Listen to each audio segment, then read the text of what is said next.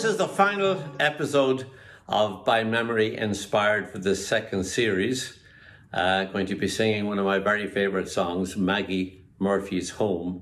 But before I do that, I have to thank an awful lot of people uh, for uh, what's turned out to be a wonderful experience putting together what is now 30 uh, episodes uh, remotely uh, with some of my colleagues and friends and fellow musicians. And first of all, I'd like to thank uh, the Irish Arts Centre in New York and Rachel Gilkey in particular, the director of programming there, for inviting me to do the series in the first place. Uh, and the, gen- the, general idea was to do a song or uh, a set of tunes and to tell a bit of a story uh, about uh, about the song or the tunes, and that's something that I do anyway. But nearly always in a live situation. Uh, I mean, I've done a fair bit of radio and TV over the years, but uh, never uh, remote videos uh, in, in this lockdown that we have found ourselves in. So I'd like to thank the Irish Arts Centre firstly. Secondly, I'd really like to thank all the great musicians and singers and dancers that have uh, agreed to perform with me uh, remotely, and they're all over the joint. Uh, uh, of course, uh, I'm here in Bangkok, Thailand, where I've been now in lockdown for 15 months, unexpectedly, and have been doing these videos with musicians, singers, and dancers in England and in Ireland, in Italy, and of course, all over America. I'd like to thank them all. Love to thank my great friend Roy Esmonde. Uh, he's been essentially the producer of these series. And uh, I've known Roy forever, for well over 50 years. He used to be our photographer for the Johnstons back in the 1960s, and uh, I've known him since then. And we've stayed in touch over the years, worked on some films together indeed over the years. Did Your Mother Come from Ireland? Mostly shot in the Bronx in the late 1970s. Uh, and then uh, the 20th anniversary of the Green Fields of America, mostly shot in Milwaukee at the Irish Fest there. Uh, and then um, other movies as well. Um, the, the most, one of the most impressive, one that Roy doesn't talk about much. He doesn't really talk about his accomplishments very much. Uh, and that's the way he is. Uh, it's a, a, a wonderful movie on the songs of the First World War called When the Red Poppies Dance. But Roy uh, has essentially produced and uh, been the researcher for a lot of the, the backstories to these songs and tunes uh, uh since we started these um, back um, in the fall of last, of last year. Um, and I'd like to thank Roy for his immeasurable contribution to this series. Also, would like to thank Declan Forde. And Declan Forde is a man I've known for some years. Um, he uh, has has many, many, many different accomplishments to his name. And I'm going to read from uh, a little book uh, that Declan produced uh, of uh, recitations and, and Christmas cards. Uh, he's a, a, noted illustrator. And he asked me to write the introduction to this book, which was actually, and it came along with the CD, and and it's it, it's dedicated to the work of of the Mercy Centre uh, here in Bangkok. It's a home for, for street kids and takes care of those kids in an exemplary fashion. It's the gold standard of how to take care of children who represent the poorest of the poor. And the proceeds, uh, the modest proceeds from this booklet were, were dedicated to them. And, and in the introduction, I, I, I wrote the following paragraph. Declan Forde combines many talents he is school teacher, broadcaster, actor, musician, poet, painter and illustrator, and general savant. Above all, he is a storyteller, gifted with the ability to bring the past and the present into sharp focus with his tales of memorable local characters and their ways in and around his native county Tyrone, which he calls quite immodestly the best county in Ireland. He grew up and lives in a townland called Ferna, not too far from the large town of Omagh. He likes to be called Forde of Ferna. Well, when myself and Brenda Castles recorded the very first song, uh, Joseph Baker, a song written by, by Pete Coe, about a runner uh, in the 19th century in England, a famous runner. I was talking to Declan and knowing his skills as, a, as, a, as an illustrator, I said, uh, kind of accidentally, I said, Declan, would you be able to, to do a sketch about a runner uh, running, uh, you know, up, up to a church? Uh, and he said, I think I would. And he did. And I loved it, and everyone seemed to love it. So I said, Hey, Declan, how about doing an illustration for just every one of the songs and sets of tunes that I might come up with? And he said, I would love to do that. And he has done that. And I'm going to ask Declan to tell you himself uh, about uh, how he does these illustrations and also to recite one of his many memorable monologues. Declan Forde, Forde of Ferna.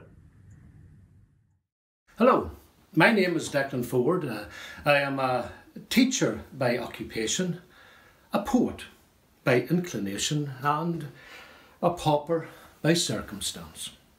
And I have been absolutely delighted and honoured to have taken part in Mick Moloney's By Memory Inspired. It has been a learning experience for me, and in these hard, difficult times of COVID, uh, a cloud always has a silver lining, and what a silver lining Mick has created. COVID art, I think he calls it, and it's, it's the, the ideal name for it the amalgam of song, music, and illustration.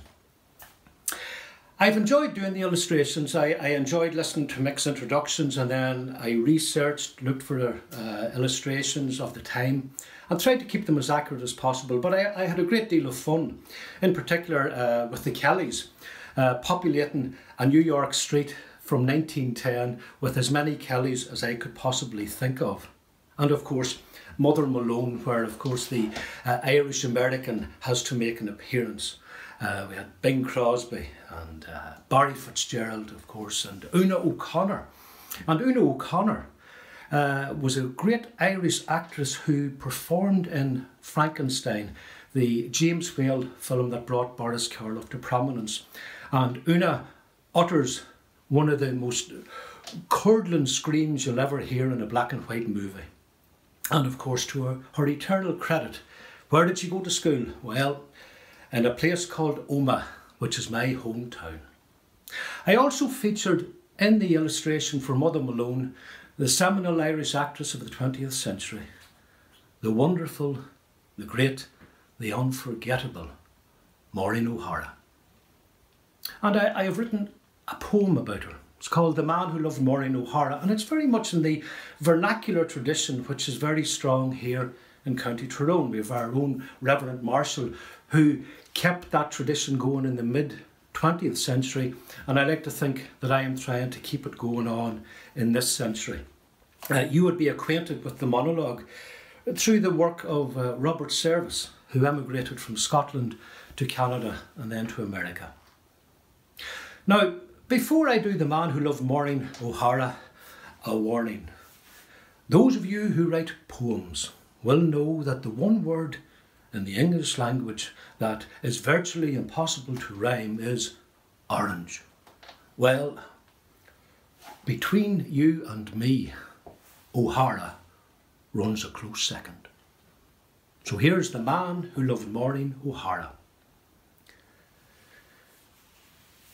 I'll tell you the story of Packy McCrory, who lived near the foot of our lane. He was a pure holy Tara for Maureen O'Hara and dreaming of being John Wayne. His obsession begun in the year 61 after dandering one evening to town when he juked in from the street to the picture house heat as the rain and the sleet pelted down. There, doused in Jeyes fluid, fleas chomped and fleas chewed as Packy sucked on a cinnamon sweet. Warm, dry and content, it was tuppence well spent, so he settled himself down for a sleep. But he never supposed, as he snuffled and dozed, that his world would soon turn around, for like the prophet of old, he had just travelled the road towards Damascus, and no, towards sweet Omagh town. Packy was jolted awake by a creak in his neck which snapped him out of a dream, and as he opened his eyes, his jaw fell with surprise as he gazed at the face on the screen. Bewitched and beguiled by her shy, roguish smile, Cupid pricked Packy's heart with an arrow, and he was swept off his feet in that cinema seat and fell in love with Maureen O'Hara. Clambering home by moonlight, he resolved that cold night to build a shrine to his Hollywood queen. He whitewashed his grey home and made his own white a morn, painting the door an emerald green. He was a familiar sight on his old tandem bike, traversing the rocks of our lane as he crowed in his free as loud as could be, in an accent he stole from John Wayne. For thirty-five years, Packy choked back the tears when he thought of the girl of his dreams. None else could compare with her beauty so rare. He only had eyes for Maureen. At a late evening dance, a lassie hinted romance, says the redhead, Will I see ye the morrow? Packy sadly replied, a wistful look in his eye, No, you're nice, but you're no Maureen O'Hara. As he draped his coat over the white marble shoulder of a Madonna in the old ruined church, a storm thistle and blew and soaked Packy through as he shivered in his white cotton shirt. Distant relatives prayed as he lay on his bed while his life ebbed away like a stream. Tears glistened his eyes as he silently sighed and hoarsely whispered the name Maureen. He was buried alone neath a grey granite stone, having ploughed his lonely furrow. Neath this legend and story, here lays Packy McCrory, the man who loved Maureen O'Hara. Declan Forde there from County Tyrone.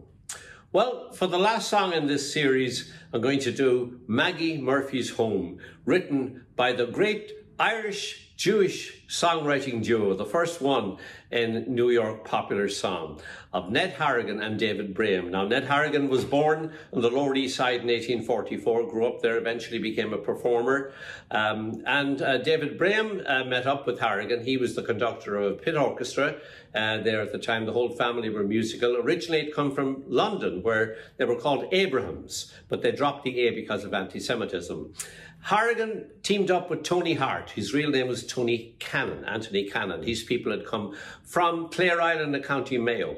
And starting in the 1870s in New York, the two became the most famous performers in New York City and the most beloved. They started off with variety theatre uh, in a theatre called the Theatre Comique down on Lower Broadway. And uh, then they started to do after pieces after the variety shows, and they turned into full length productions. They took a big chance. Uh, and you had continuous action, music, song, and dance woven into the action with recognizable characters. That was the beginning of musical theatre by any standards. Ned Harrigan wrote the plays, there were many of them. The Mulligan Guard series of plays, there were several, um, were the beginning of, of it all. A rapidly expanding cast of characters. David Braham and himself wrote the songs that were introduced in the plays, over 300 in all, based for the most part, an ethnic and immigrant life in working class, lower class uh, Manhattan down on the Lower East Side. And the plays that the songs were introduced in were the Mulligan Guard series, plays like Cordelia's Aspirations, plays like Squatter Sovereignty, and uh, plays like um, Dan's Tribulations. All of these were presented in the newly improved Theatre Comique, which was built in 1881 on the corner of Waverly Place and Broadway. But tragically, in 1884, the theatre burned to the ground. It was uninsured, caused financial catastrophe for the duo of Harrigan and Hart and for David Braham as well, and uh, for the audiences that loved all their productions. It coincided, unfortunately, with Tony Hart starting to go out of his mind. He was in the early stages uh, of syphilis, which was incurable at the time and often led to insanity. And finally, he did pass away in 1891, and Harrigan and himself had parted company. Harrigan continued in a new theatre, Harrigan's Theatre, and uh, but his time was, was starting to come to an end as the the great ethnographer, you, might say, of working class life in New York. The neighborhoods were changing. Harrigan himself had moved away from the old neighborhood. Uh, he didn't understand languages like Yiddish, which was, uh, as, as Yiddish theatre was developing in New York, he didn't understand it.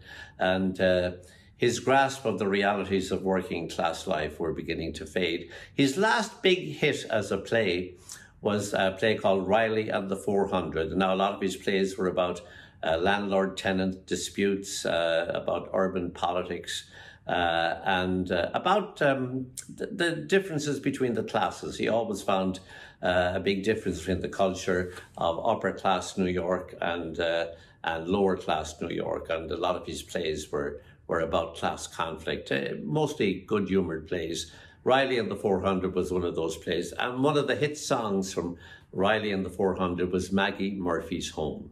And uh, Maggie Murphy was played by a young girl called Emma Pollock. And she was 15 at the time, born in the Lower East Side. And she came onto the stage and danced a jig and then launched into this song, which was a mega hit, Maggie Murphy's Home. And it captivated the audience. She had to do several encores most of the nights. Uh, it was, in a sense, Harrigan's last big hit. He wrote plays after that, but none approached the popularity. He finally passed away, surrounded by his by his adoring family um, in 1911 uh, and left an extraordinary legacy, mostly of songs. But by the time I arrived uh, in America, his name was practically forgotten. And uh, he, he was best known, I suppose, uh, through this song, but nobody knew who it was about, written by George M. Cohan that goes, H A double R I G A N spells Harrigan proud of all the Irish blood that's in me. Divil a man can say a word again me, and it's H A double R I G A N U C is a name that a shame never has been connected with Harrigan. That's me. Well, that's all people knew about Harrigan when I arrived in America in 1973, uh, and people didn't know who Harrigan was. Um, but I ended up making a couple of CDs um, with Vince Giordano and the Nighthawks, very prominent, one of the great jazz bands of our time. And one was a, a, a CD dedicated entirely to, to the songs of Ned Harrigan and David Braham called McNally's Row Flats. Uh, and the other was If It Wasn't for the Irish and the Jews a nod to Irish and Jewish collaboration and competition in Tin Pan Alley. But one of my favourite songs from from um, from uh, McNally's Row Flats was that last great Harrigan hit uh, about a, a, widowed Irish woman and her daughter. Uh, and the widowed Irish woman was a common feature of New York life uh, in in the, in in the latter decades of the 19th century. Um, a lot of the men uh, had had died uh, through literally hard work, diseases like tuberculosis. Uh, the average life expectancy at one point uh, in the 19th century for Irish men working in, in construction, canal building, railroad building was about seven years. So um, the widow woman was a, a, feature of social life, and Harrigan, as a documenter of the the realities of, of social life, he was the ultimate uh, his was the ultimate theatre of realism. He would that wouldn't have been lost on him. So Maggie Murphy, uh, Maggie Murphy's home with the the organ in the parlor representing a kind of a symbol of respectability. It's one of my favourite songs. I'd like to end the series by that, and surrounded by and accompanied by some of my favourite musicians remotely. Um, three of them are members of Vince Giordano and the Nighthawks, as Vince himself. Uh, on the double bass, and there's uh, there's uh, Dan Levinson, and for Irish songs, he likes to be known as Danny Boy Levinson. Jim Fryer on the trombone. Our own Brendan Dolan, who at times likes to play jazz as much as Irish music, is on the piano. And then there's Athena Tergis, uh, and and uh, she's in Tuscany, Italy, and Haley Richardson in North Carolina, Brenda Castles in Dublin, uh, and uh, there's uh, also Liz Hanley, who will be in, in Boston, Massachusetts.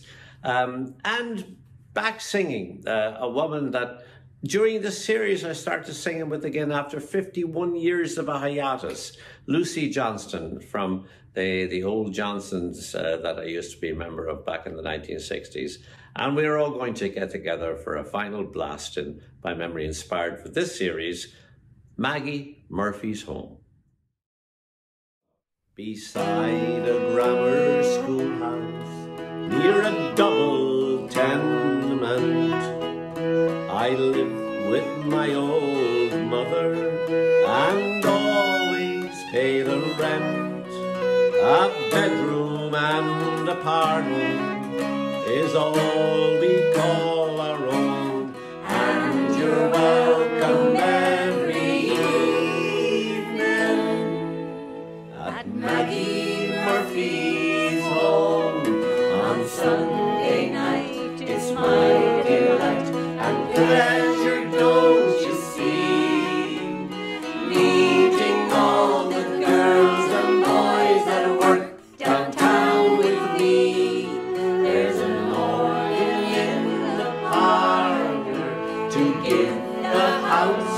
house